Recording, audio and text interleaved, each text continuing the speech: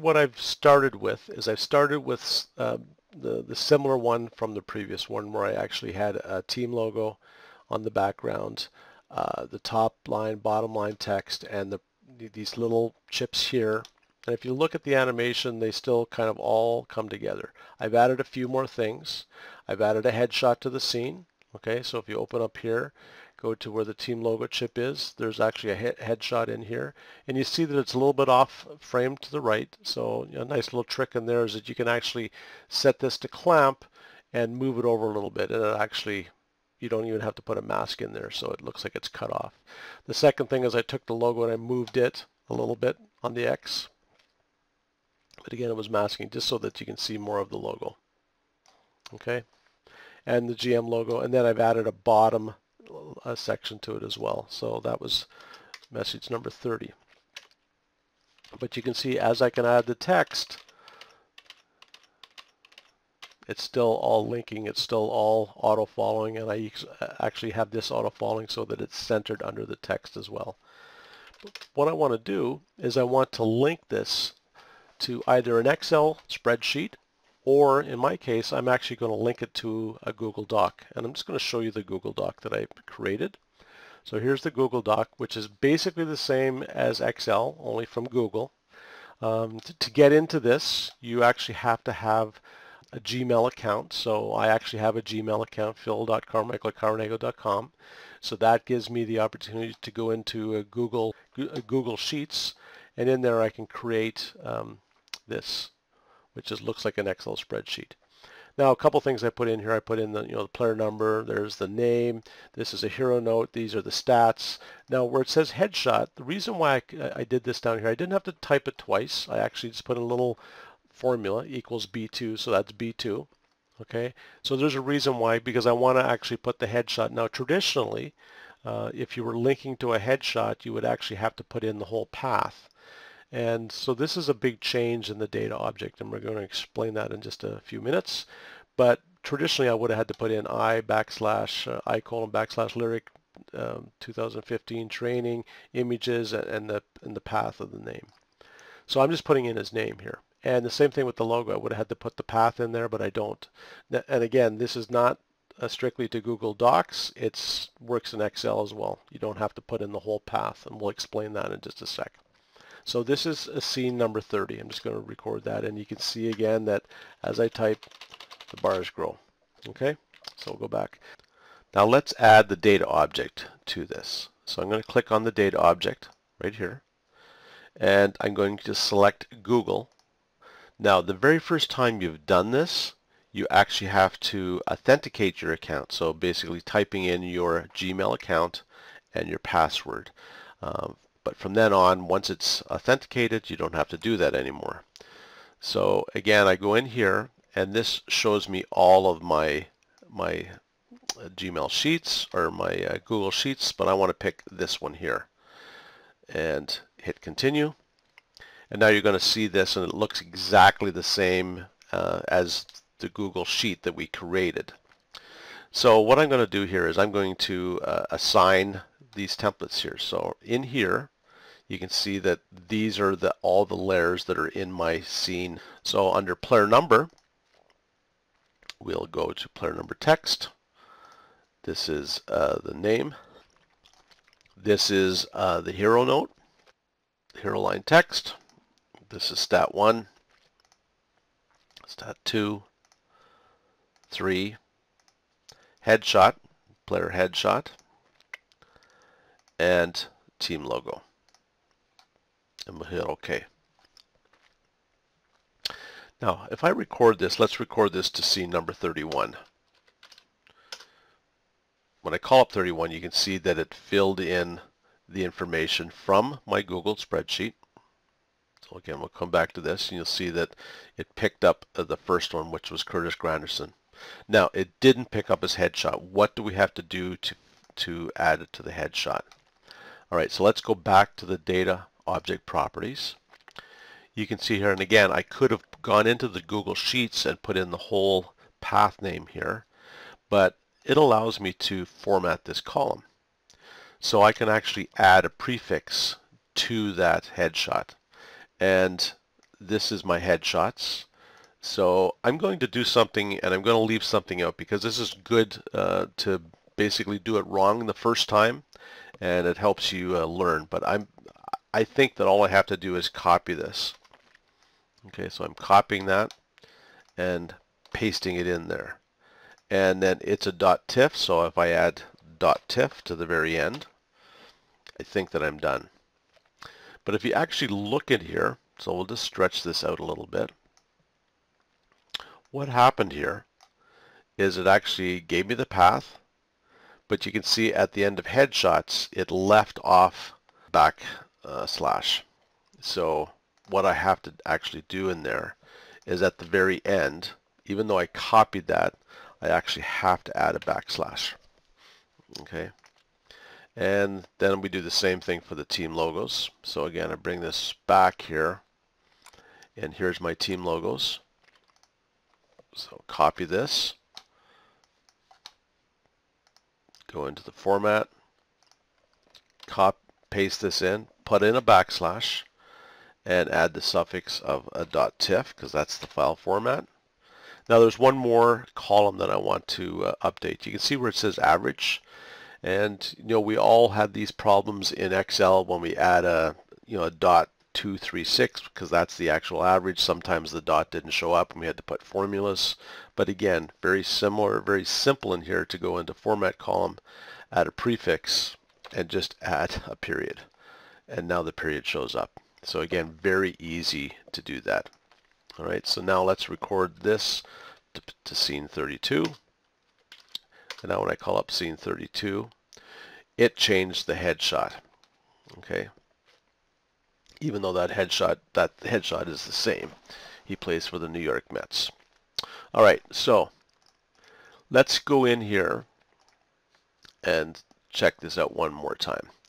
You can see that it only picked up the first row of this, and I wanted to be able to pick up any of these rows. Okay, so I could go uh, where all rows and the player number is 3 or 50. And you can see that uh, now it picks up number 50. Now I lost uh, all the bindings so I'd have to go in and put the bindings in, in, again. But you can see that when I did this it actually put in a little what appears to be um, uh, code here. And I can actually use this code. So if I copy this right here. And I'm, I'm going to go out because I actually made the bindings once, so they should still be there. And yes, they are. So now if I come down to custom query and add this in, it should take me to number 50. And it does. So this is one way of being able to go to uh, each row that you want to in here. And this is actually a start. Um, but this tutorial is on doing uh, parameters and that's where we want to take this. So instead of putting in 50, I want to put in um, a parameter and a parameter is basically saying, okay, uh, give me uh, in, in another menu, give me an easy way of selecting 50 or number 21 or whatever number that you want. And so basically the code that I put in here, and it's, it's uh, curly brackets, and I give it a scene, and two semicolons. Now the parameter, I give, I, I actually name the parameter, and this can be anything you want. So I'm going to call this baseball because it's uh, baseball stats. Um, and give it and curly brackets. And so now you can see that it's actually come back. It's come back to the very top.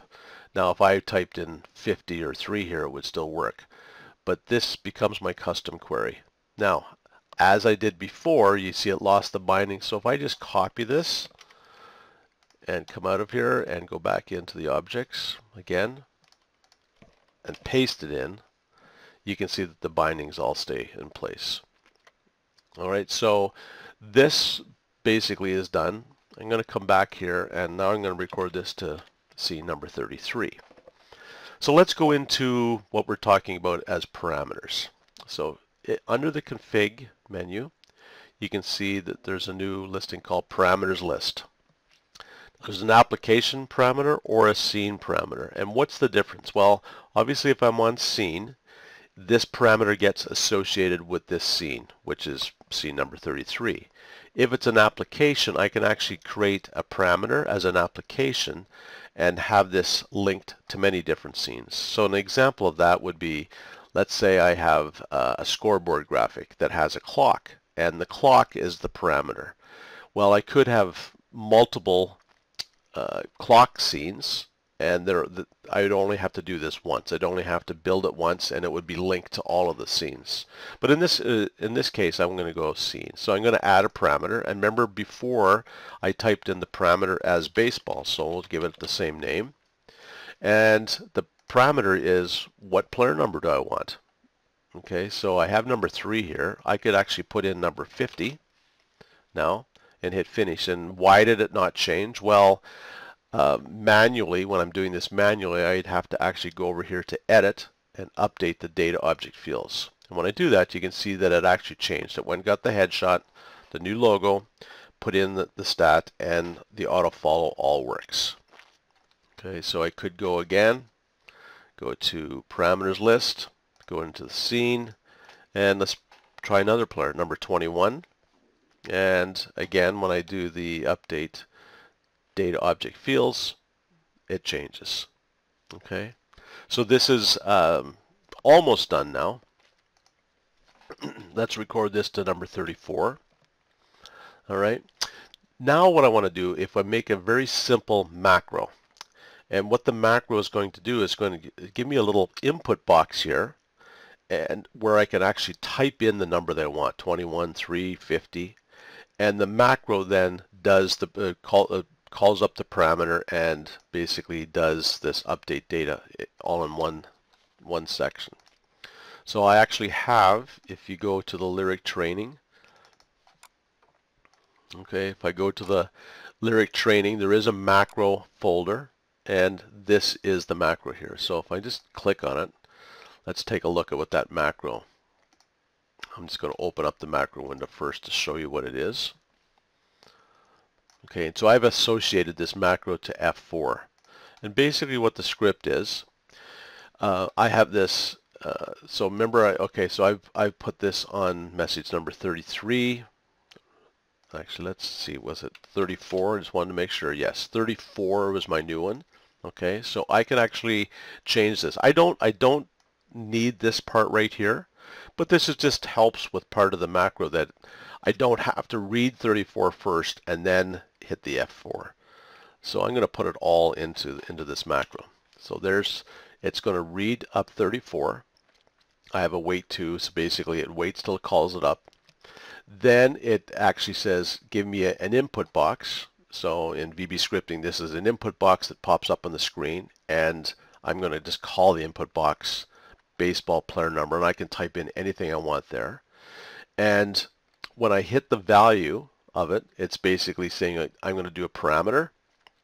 Uh, the parameter is called baseball and I'm going to put in the value which is 50 and then this is just uh, uh, another part that goes and does that and at the very end it says uh, auto execute embedded macro active canvas selection update data so basically again this macro does this for me. It opens this up, it puts in a value here, and it updates this all at the one time. All right, so I've I want to save this again, so let's hit save, and we'll put it back there so we have it. Okay, so let's just test it. If I hit hit the play button, there's mine. So now I could type in 50 and hit enter and it went to Google Docs and updated that all at the same time. So again, a very easy way to update your scenes. At this point, you could save this to a message number. You could save this to 150 and you know then do it again and say I want uh, message 3 and then save that to 103. You could go through that and do that or you can do this live and that stat could be updating live by anybody. So again, just to recap, this is uh, using the auto follow to create a, you know, a kind of a complex looking graphic. that has animation. And more importantly, the animation doesn't matter how the auto follow has changed the length of the bars, the animation is going to work every time. And then we've linked this to a Google Sheet that's very similar to Excel. And then we put a parameter on it that we want to be able to go and select any one of those uh, rows in the Google Sheet.